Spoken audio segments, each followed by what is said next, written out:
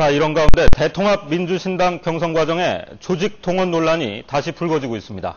오늘 새벽에는 정동영, 손학규 두 후보 진영의 6탄전까지 벌어졌습니다. 주영진 기자입니다. 오늘 새벽 부산의 한 경찰서 손학규 후보 측 의원들과 정동영 후보 지지자들이 말싸움을 벌입니다. 저 사람이 다짜고짜 다무림이라 그래갖고 내 구석에 처박혔거든? 오지 말라고 내가 처박혔으니 어떻게 오지 말라고 밝혀주겠지.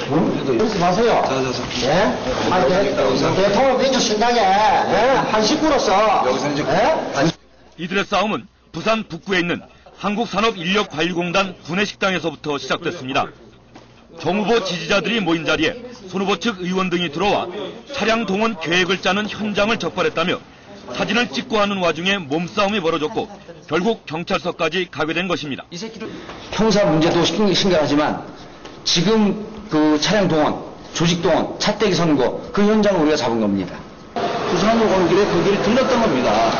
들러서 서로 격려하고 내일 열심히 하자. 그런 얘기하고 헤어진 게 반대예요.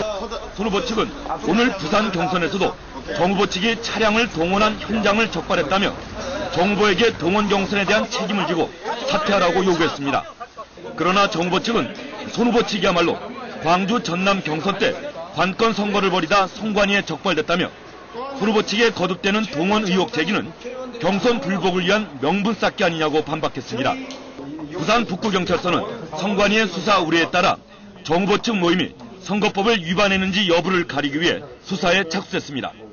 이런 가운데 이해찬 후보 측도 정동영 후보 측이 선거인단 모집을 위해 부정 콜센터를 운영한 의혹이 있다고 주장하고 나서면서 대통합 신당 경선은 진흙탕 싸움 양상을 보이고 있습니다. SBS 주영지입니다.